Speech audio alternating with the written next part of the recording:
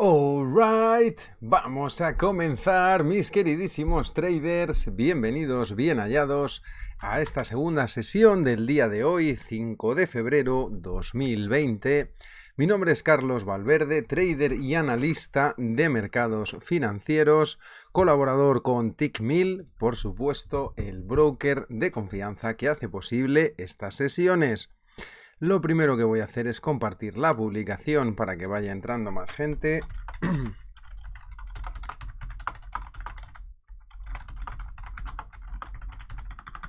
Listo, yo ya he compartido la publicación para que vayan entrando más personas.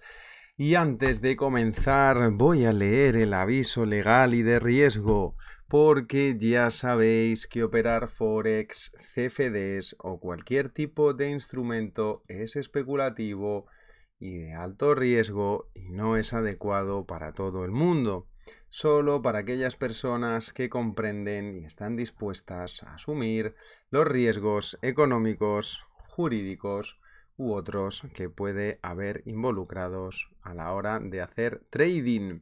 La información aquí presentada hoy no es una recomendación de inversión, ni es asesoramiento financiero, ni son señales, ni nada de nada, es meramente educacional.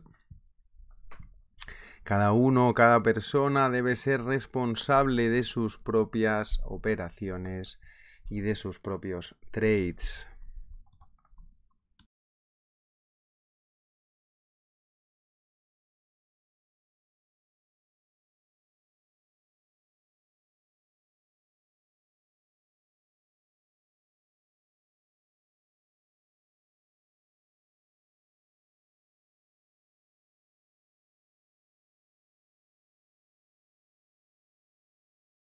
Listo, vamos a comenzar. Bienvenidos. Hola Rafa, hola Orlando, Camilo, Alex, Edwin, Fernando. Dice Orlando, estaba viendo un documental del crack del 29. Vaya crack, eso sí que fue un crack grande. Con el gran crack Charlie, dice Edwin. Bien. Vamos a comenzar eh, con el análisis sobre todo del petróleo. Una situación interesante han salido las noticias antes. Y eh, bueno, vamos a ver un momentito cómo está el petróleo. Veamos. Esto es el petróleo en una hora. Recordar que hay, hola Marichela, hola, hola Adolfo, que hay varios instrumentos de petróleo. En TICMIL tenemos varios instrumentos de petróleo. Eh, uno es Hola Byron, hola Denis. Uno es el WTI, esto es en diario, que es el West Texas, que es un poquito como más... Es más barato porque el refinado es un poquito de peor calidad. Y luego tenemos el Brent, que se parece mucho, pero es un poquito más caro el precio porque es un refinado de mayor calidad y se extrae de otra zona diferente. Viendo los dos, Veo al Brent mucho, lo veo un poquito más débil al Brent si tengo que elegir para vender. El Brent va a tener prioridad. Si tengo que elegir para comprar, el WTI va a tener prioridad. Bien, y ahora digo las noticias porque han salido hace un ratito. Hola Jonathan, hola Adolfo. Entonces, en semana, en diario, en semanal, están en rango. Voy a empezar con el WTI.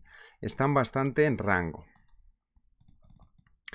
En el WTI lo que me gusta, esto es petróleo, es que ha hecho ese pinchazo, digamos, del soporte, ese pin bar, ¿verdad? Que estoy mostrando aquí, ese pinchazo que ha hecho, ahí lo veis, que es una señal de compra en sí, o sea, es una señal de rotura falsa, puede dar algo de fuerza a la compra, pero viene de una caída tan fuerte que es complicado. Hombre, hoy el día ha sido alcista, voy a marcar algunas zonas, Hola, Snyder. Estoy marcando algunas zonas en el petróleo. Y tenemos una resistencia aquí muy importante, que es el 50-50. Y es que estamos justo ahora ahí. El 51-50. Que son todos estos mínimos en el Brent. De momento yo voy a estar bajista si no supera ese máximo. La noticia de los inventarios del petróleo hoy ha salido, estoy viendo que la luz está... La noticia de los inventarios del petróleo hoy ha salido un poquito mala o peor de lo esperado. 3.4 millones de cambio en el inventario de una semana a otra. Es decir, hay más barriles, se ha vendido menos. Y eso en principio se supone que es negativo para el, em, para el petróleo, ¿vale? Hola Manu, hola Marx, Bon Mills, César, Snyder. Es bajista en principio porque si hay más barriles, hay más petróleo, es que se ha vendido menos. Para vender más, si cae el precio, mm, van a traer más compra, atraería compra, ¿no? Si tiran el precio un poquito, ¿vale? Entonces, hola Eric, hola Miguel. Para mí, siempre y cuando que sigamos por, por debajo del 51-50, estaría bajista. Vamos a una hora. Y es que estamos justamente ahí. Estos son los inventarios. Los inventarios del crudo, 3.4 millones y 51.50 la resistencia. En el día de hoy sí que es cierto que ya tiene unos mínimos ascendentes y que está empujando un poquito al alza, pero yo me esperaría. Me esperaría un poquito a ver qué pasa. No haría ningún trade todavía. Es, claro también que va a haber una venta también está un poquito limitada por esos soportes que hay aquí que voy a marcar. Darme un segundito. Vale esta zona de soporte del 50-80, en caso de vender ahora petróleo aquí, vamos a tener esta zona delante nuestra. Entonces las ganancias pueden ser limitadas en una venta porque debe de atravesar esta este soporte 50-80, esta zona que marco en azul. Vender ahora, bueno, tienes un stop pequeño, no está mal, la resistencia está ahí. Es verdad que ha empezado el día fuerte, y el dólar no está hoy tampoco líder, entonces cuidado. Hola a todos, Freddy. Ya estamos. Carlos. Freddy, Miguel. Entonces, bueno, darme vuestra opinión del petróleo, porque mm, para mí está un poco... Podría dar una venta aquí, también podría dar una compra si hace la rotura. No está claro del todo. Bien. Podemos mirar el Brent.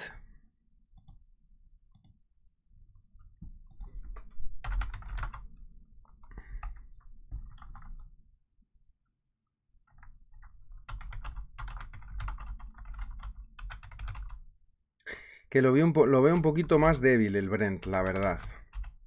Comprar ahora a mí tampoco me parece la mejor idea, porque ya está, digamos, el rango diario completado.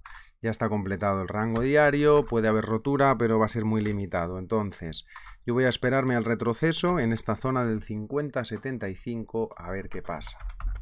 ¿Qué hace rotura ahora y se va? No problema, se puede volver a entrar después más a un precio más favorable. Bien, hola. Oscar dice, si está el dólar débil el dólar, el crudo sube de precio. Mm, no siempre, ¿vale? No siempre. No siempre, ¿vale? Pero como el petróleo se compra en dólares, normalmente, pues si mm, tienen una correlación inversa, pero lo mejor es que lo miréis. Por cierto, estoy viendo, me, me ha llegado antes un mensaje de que Tesla está cayendo un 20%. 761. Y así está el Nasdaq también que se está dando una buena torta.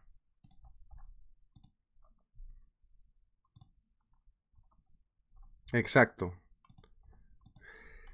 Entonces, fijaros, Tesla en una hora la que se está dando, ¿no? Y el Nasdaq está cayendo fuerte. Pero lo que quería hacer simplemente es un también para Oscar que lo vea.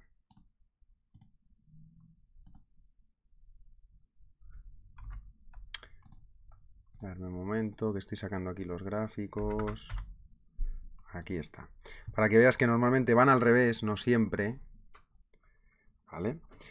Bien. ¿Lo veis ahora la correlación? No siempre, ¿eh? pero esto es petróleo. Lo he hecho para que veáis la correlación del petróleo con el dólar. Petróleo sube, dólar baja. Petróleo baja, dólar sube. ¿Vale? No siempre, a veces van a la vez, como es este caso. Pero hay que identificar cómo está y nos puede ayudar también a elegir. Y tiene un sentido porque, claro, mm, cuando yo compro petróleo tengo que pagar en dólares normalmente. Entonces ya tengo, si no tengo dólares, ya tengo que hacer un trade de Forex. Cambiar euros a dólares para luego comprar petróleo, etc. Por eso hacen coberturas las empresas, forwards y swaps para, eh, o flexis, según como, como el producto que quiera, para la persona poder, la empresa o persona poder cubrirse con el dólar y saber a qué precio de dólar va a comprar el petróleo, ¿vale?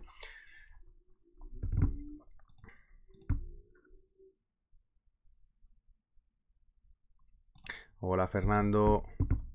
Entonces, claro, vamos a ver, eh, voy a volver aquí un momento a, Diario semanal, comenta Freddy, dice que está en precio justo. En semanal.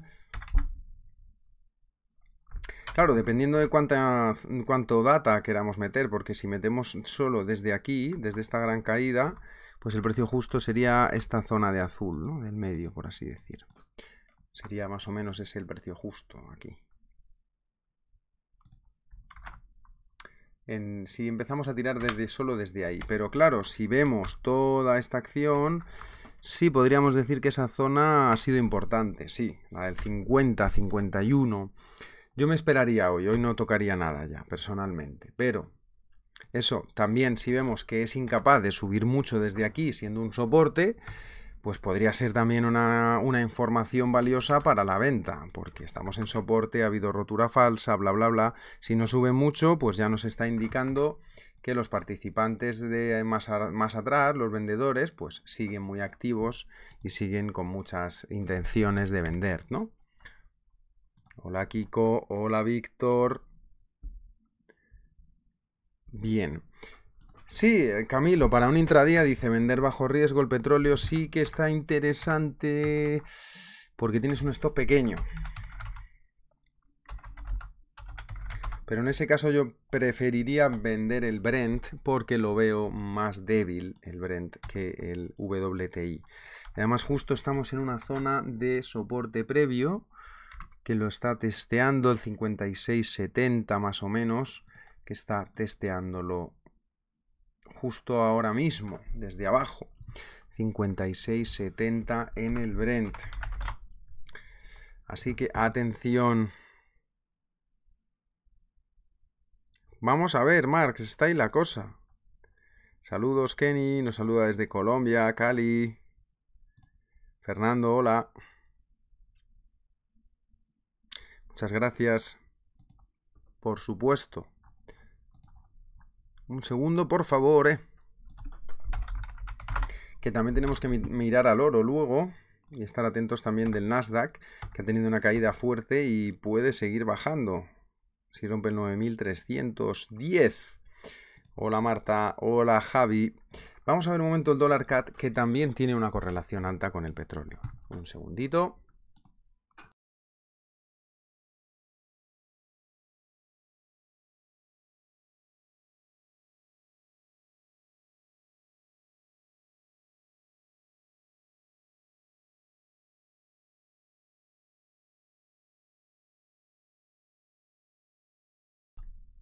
Perdonad, chicos, que he ido por algo de bebida, de agua. Vale.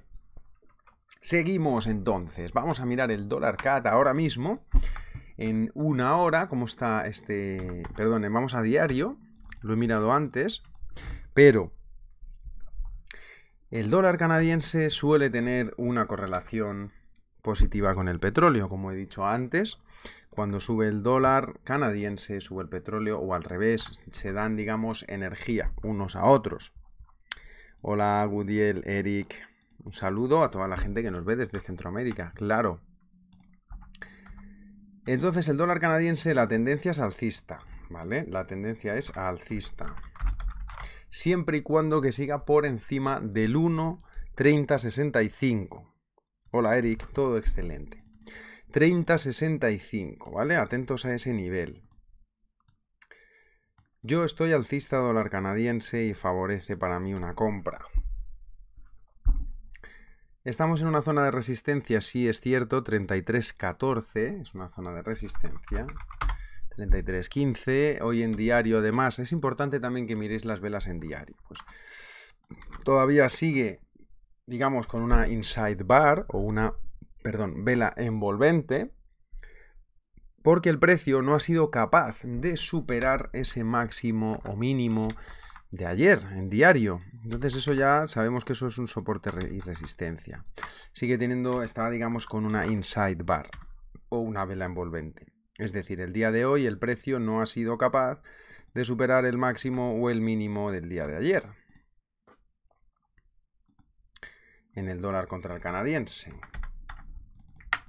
Si ahora bien atravesara esta zona, Hoy lo dudo mucho, pero si atravesara esta zona del 33, que es una resistencia importante y número redondo, 3300, estamos ahí, si la atraviesa, pues es una confirmación y puede seguir hacia adelante y en ese, hacia arriba, y en ese caso yo también, si atraviesa el 1.3314, 1.33, pondría a buscar eh, compras al retesteo aquí, que es lo que hacemos, lo que hablamos, ¿no? Que es una idea de poco riesgo y una idea que tiene sentido, porque vas a favor de la rotura. Entonces eso le daría fuerza a la operación. Por lo tanto, yo me voy a esperar a que atraviese el 1.33 todavía. Fernando, hay una resistencia, sí. Hola, Alex. Adolfo, México presente. Víctor, buenos días. Por favor, Máster, ¿cómo puedo colocar las líneas horizontales donde me dicen el máximo y el mínimo anteriores? Muchas gracias. No entiendo la pregunta. Víctor. Tienes varios indicadores que están interesantes. Hay uno que es el indicador zigzag. ¿Dónde está el zigzag? Este es el zigzag, ¿vale? Que te va a marcar, dependiendo de la sensibilidad que uses del indicador, te va a marcar los máximos y los mínimos. A ver si consigo que se vea bien ahí. Ahí está, bien. Y con el zigzag, por ejemplo, lo acabo de poner en el dólar CAD, si vamos a diario, pues te va a marcar los máximos y los mínimos, obviamente. Este te lo va a marcar, por ejemplo, este te lo marca cuando ya empieza a subir un poquito. Cuando ya está empezando a subir, ya te marca ese mínimo. Y os puede ayudar a buscar máximos y mínimos de una manera fácil y podéis usar Fibonacci con estos máximos y estos mínimos. Vamos, eh, os puede ayudar. Pero no sé exactamente lo que quieres.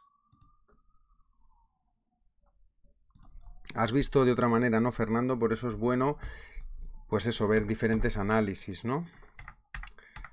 Yo voy a quitar el zigzag ahora, pero este es uno de los pocos que te puede marcar máximos y mínimos. Otra cosa es que lo puedes poner a mano, también, que tampoco es tan difícil. Vas a diario y marcas los máximos y los mínimos.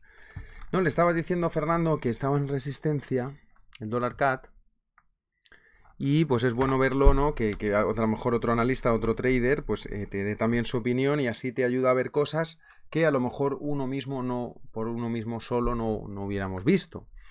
Entonces sí, a mí me gusta para compra, pero de momento poca cosa. Me voy a esperar. Está ahí a ver si atraviesa el 33, que es un número, no es fácil esa resistencia, ¿eh? de atrás ser rota. Vamos al oro, el oro está interesante también porque la tendencia es alcista, pero estamos en un momento en el cual parece que necesita hacer algo de retroceso para coger un poquito de oxígeno, un poquito de aire, porque ha estado subiendo bastante, ha estado subiendo fuertemente, aguantando muy bien en zona de máximos y ya le va tocando un poco de retroceso también y el dólar se ha puesto fuerte. Entonces eso pues es para tenerlo en cuenta que el oro ahora parece que quiere retroceso esta semana. Y la pregunta es, ¿dónde se puede parar? ¿Qué soportes pueden ser tan fuertes que paren la bajada? ¿Qué zonas voy a buscar para quizás entrar a favor de la tendencia alcista? ¿O en qué zonas voy a querer vender si quiero aprovechar e ir un poquito contra tendencia? Entonces hay que hacerse esa serie de preguntas. Yo voy a empezar marcando las resistencias, porque al ser una tendencia alcista, va a ser importante para mí ver cómo se comporta el precio si sube las resistencias. Si es una tendencia alcista, lo más lógico es que las acabe rompiendo. O sea, estos son cosas, son trucos básicos que os pueden ayudar.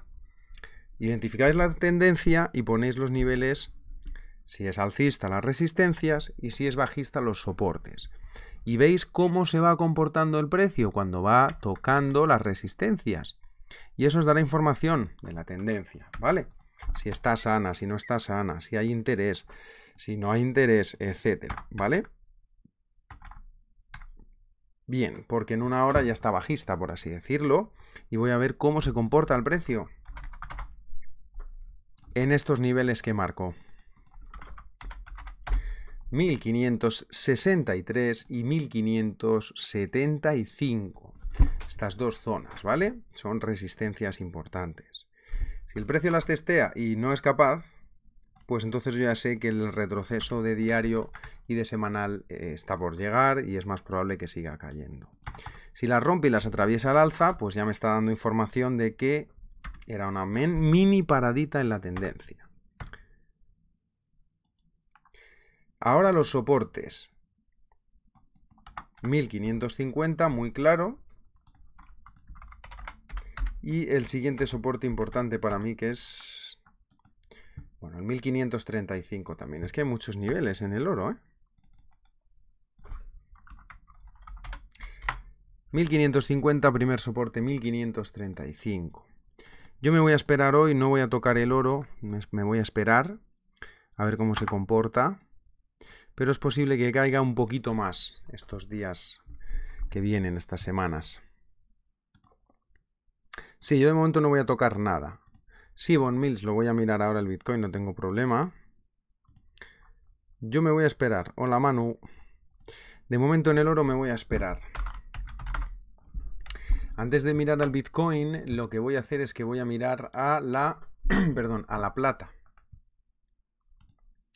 ¿Vale? Antes de mirar al Bitcoin. Importante. Porque la plata es otro commodity en realidad también, ¿no? Es otro es un material, es un commodity. La plata en semanal sí que tiene un patrón bastante de, digamos, de... ¿Cómo decirlo? Está muy en rango, muy en lateral, sí que está en precio justo. Tenemos el 1865, nivel interesante y es incapaz de hacer un nuevo máximo. Entonces, bueno, en esta zona de arriba de la plata sí que puede ser interesante. La tenéis como XAG Argentum en el eh, en Tickmill, en, MetaTrader. Para mí está un poquito bajista, sobre todo por esta zona donde estamos ahora. Estoy encerrando al precio entre el 18.65 y el 17.45. Esas dos zonas, soporte y resistencia. El precio está encerrado las subidas de la plata son muy limitadas, tiene mucho menos subida cuando sube, comparado con el oro. Cuando sube el oro mucho, la plata tampoco sube casi, sube mucho menos. Entonces, claro. Sí, Fabricio, al final lo miramos, por supuesto. Tenía pensado ver el paladio. El café ha caído mucho, pero le echamos un vistazo también. Entonces la plata cuando sube el oro no sube tanto, pero cuando empieza a caer el oro puede caer más. Entonces sí que es interesante a lo mejor estar atentos estas semanas de atrás, porque además estamos en la parte de arriba en diario del rango. Si cae el 1740, esta zona de aquí, el 1745, si cae esta zona de aquí, podría ser una venta interesante. Hasta que no atraviese el 1865 para compra, poco. Prefiero venta, la verdad. Vale. Voy a ver el paladio un momento que estaba mm, parabólico.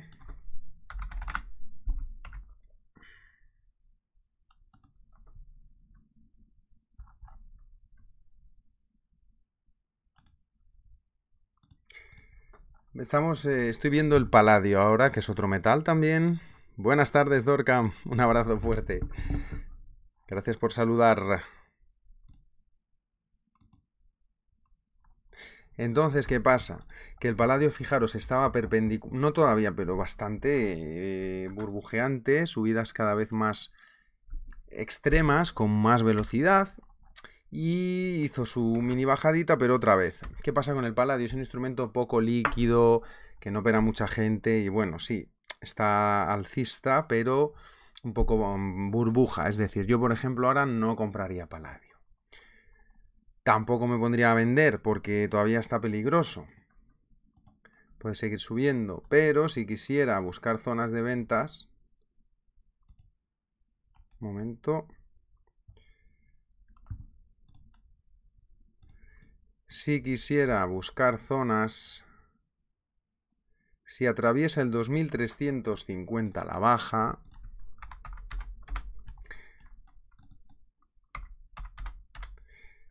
podría dar una caidita interesante. El 2350 en el Paladio, pero yo no lo tocaría mucho de momento, ¿eh? Muy burbuja, instrumento poco líquido, cuidado. Voy a mirar los futuros del café. KC se llaman, Coffee. Em, lo han cambiado, ahora está en Iceus. A ver un momento. Ah, le han metido aquí los del ICE. Vale, vale. Bueno, el futuro del café, para que lo sepáis, es el, símbolo. Una K de kilo y una C de casa, ¿vale? Que es lo que voy a mirar ahora, el futuro del café. Si me lo quiere dar. Me lo ha dado ya. Perfecto.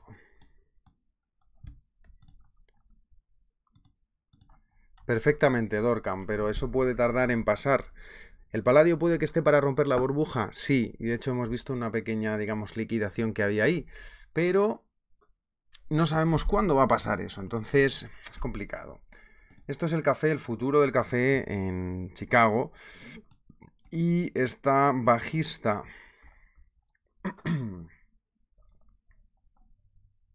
Ha empezado el año, bueno, aquí tiene unos spikes cada vez menores, unos pinchazos menores de volatilidad, lo podéis ir viendo. Cosa que no sé si será buena para los productores, porque vale, luego cae, pero en esta zona, pues si eres un productor de café, puedes cubrirte, hacer algún futuro, algunos contratos de venta futuro a un buen precio. Está bien que el café tenga, a lo mejor no tan extremos como esta, pero un poquito de, pero si os dais cuenta, pues está haciendo un triángulo aquí descendente el café. Está a un precio barato ahora, esto me parece que va por por saco, no sé si son 200 kilos o 300, no, no, estoy seguro, no soy experto en este mercado, pero fijaros cómo ha empezado el año y cómo terminó bastante bajista. Después de una gran subida a finales de año ha tenido un empuje a la baja el café, otro commodity también importante. Entonces, bueno, ahora está en una zona totalmente de valor, de equilibrio, que es esta zona de entre el 100 y el 95, y mientras no salga de ahí estoy un poquito neutral. Pero lo importante va a ser a ver si es capaz de salir de esta zona, porque tuvo un rebote muy fuerte, quizás podría repetir el comportamiento, quién sabe.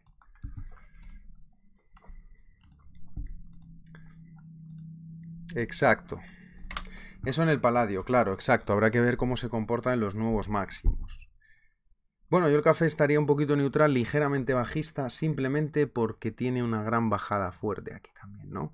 Esa, V que ha hecho vuelve a la zona del medio, otra vez a la zona de precio justo. Por lo tanto, yo el café estaría neutral. Neutral tirando bajista, no estaría haciendo ningún trade.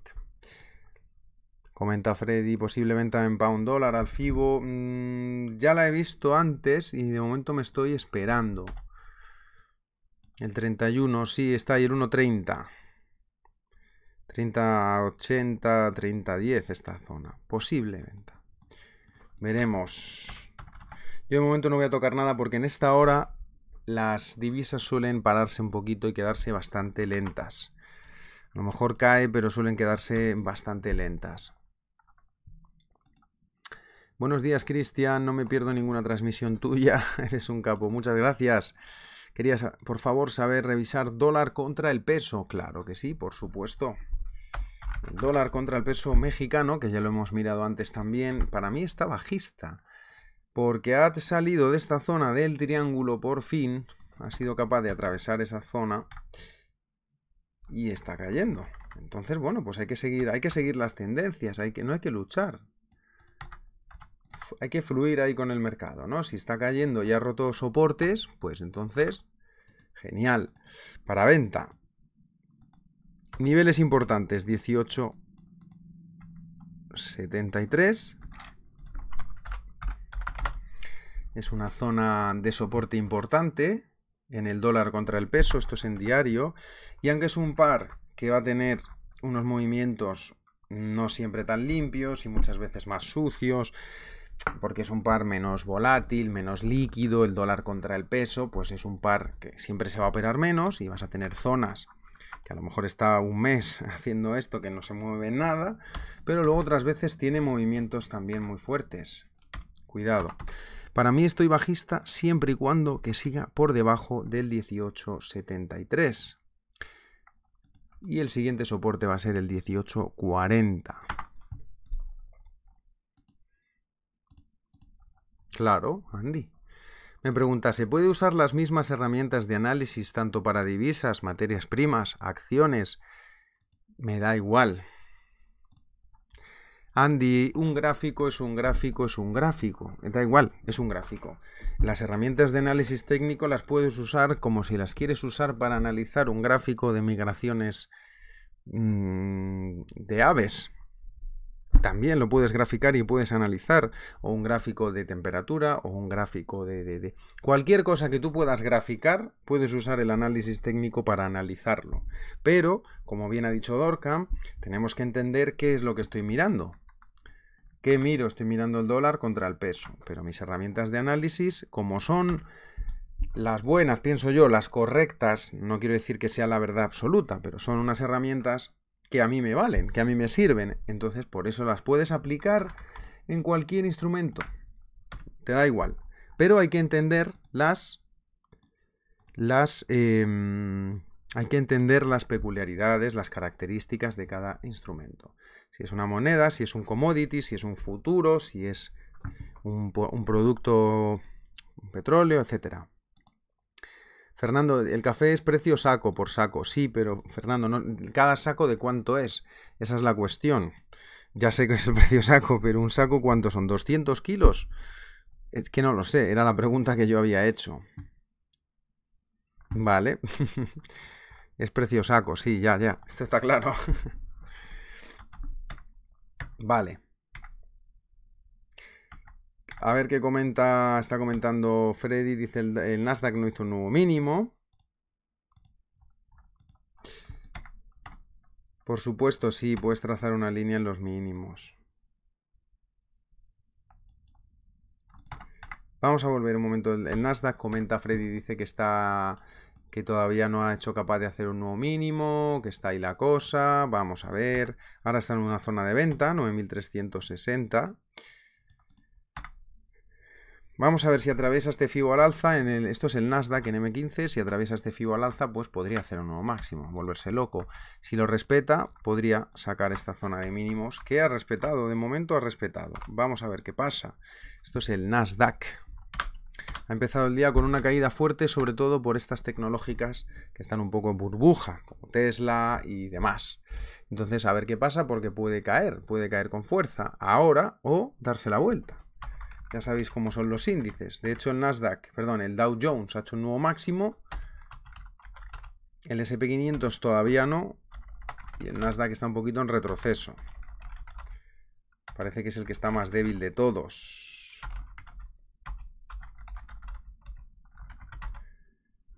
El índice tecnológico americano. 60 kilos de café por saco. Vale. Ya decía yo, si no hubieran sido demasiado, 200. Vale, pues ya sabemos que un saco de 60 kilos de grano, el futuro está ahora mismo a 98,60. El precio ahora, claro, de este, del continuo. Cada, luego cada contrato a futuro va a tener otro precio. 60 kilos de grano, entiendo, 98.6 dólares, entiendo también. Dependerá del grano también, de la variedad, si es arábica o si es em, la otra, la robusta. Vale, mejor arábica siempre. Os lo digo para que lo sepáis. Vale, vamos a ver. Interesante, interesante. Tener en cuenta que esto lo usan mucho los productores de petróleo para hacer coberturas y cubrir su producción y poder saber a qué precio van a vender, haga mal tiempo, haga buen tiempo, baje mucho el precio, baje, suba mucho. Algunas veces les va a beneficiar porque el precio del spot al contado será más barato que el que hicieron en el acuerdo, ¿vale? Y otras veces les va a no les va a ser positivo porque hubieran vendido mejor al mercado. De esto hablaré ya cuando hagamos clases de futuros, que empezaré a dar clases sobre los futuros. Bien, y eso os va a gustar, también es interesante. Cuando empecemos a hablar sobre los futuros, sobre otros productos, las coberturas, las opciones, etc. Bueno, vamos a ver qué pasa. El mercado ahora se suele tomar un descanso hasta ahora, empiezan a salir los traders de Europa, empiezan a terminar el día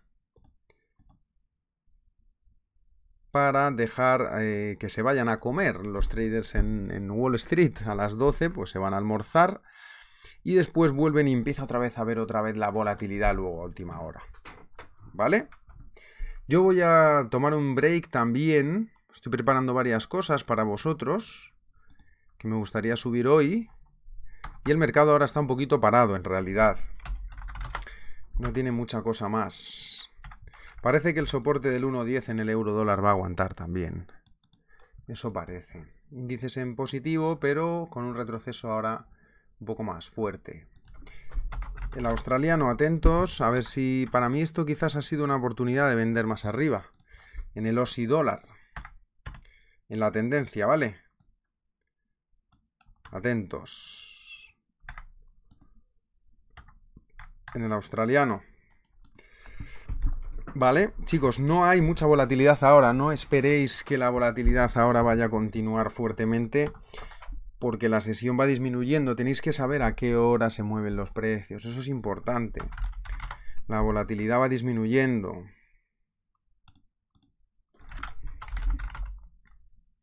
¿Has tomado el FIBO? No lo, eh, Freddy, habrá alguien que lo haya tomado, a lo mejor. En Libra Yen también había una oportunidad. Pero operar ahora en divisas no es em, la mejor hora, creo yo. Cristian, pues lo puedes mirar vos mismo. ¿Qué tanta correlación hay entre el oro y el dólar contra el peso? Es un, eso, eso, eso que me has preguntado, a lo mejor es una pregunta que, si quieres que te... ¿Cuánta correlación hay en porcentaje positivo y negativo de los últimos tres meses? A lo mejor tengo que estar dos horas aquí analizando y mirando para sacarte ese número, Cristian. ¿Vale? o sea que no es un número, si quieres que te dé la respuesta. ¿Cuánta correlación hay entre el oro y el dólar? Piénsalo. El dólar contra el peso, claro. ¿Cuánta además me has preguntado? O sea, tú piénsalo, me haces una pregunta que yo, si quiero darte la respuesta real, eso requiere un análisis y un estudio que, amigo, que yo te lo hago encantadísimo, pero puedo dar una correlación aquí, digamos, de una manera visual, sin un número totalmente objetivo, de una manera más subjetiva. Piénsalo. El oro cotiza contra el dólar. Entonces piénsalo. Si sube el oro, baja el dólar contra el peso. Eso es algo normal, Cristian. Eso es lo más lógico. ¿Cuánta correlación hay? Eso ya hay que mirarlo.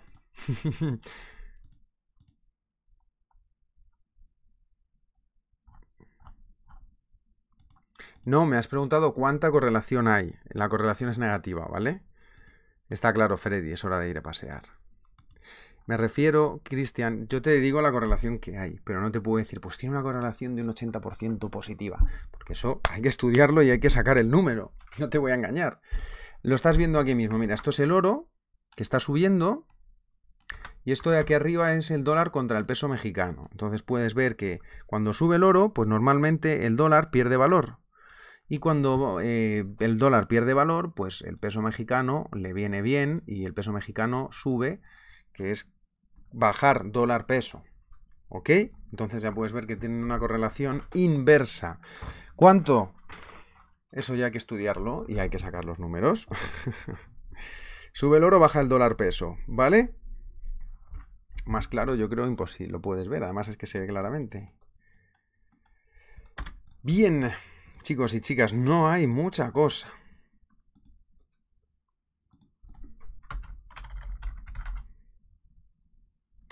Las divisas, Freddy, ya os digo yo que ahora se van a quedar bastante, bastante paraditas. Chicos y chicas, voy a cerrar la sesión. Hemos visto el petróleo, hemos visto el oro, las materias primas, el café y unos cuantos instrumentos más. Espero que hayáis aprendido y hayáis disfrutado lo máximo posible de esta sesión. Tener en cuenta la volatilidad que ahora disminuye. Controlar el riesgo, seguir el plan y lo demás vendrá solo. De nada, Cristian, un abrazo. Nos vemos mañana, chicos, con más contenido, pero no mejor, porque es imposible. Aquí con la familia Trader, Tito Charlie y, por supuesto, Tickmill, el broker que hace posible estas sesiones. Hasta mañana, chicos, un beso y un abrazo. Buen trading.